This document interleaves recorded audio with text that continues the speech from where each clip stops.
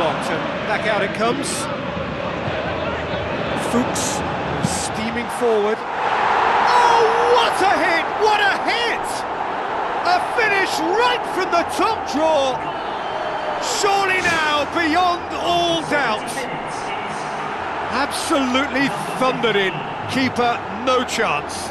That is just the top drawer finish. He was always in control and couldn't have placed it any better.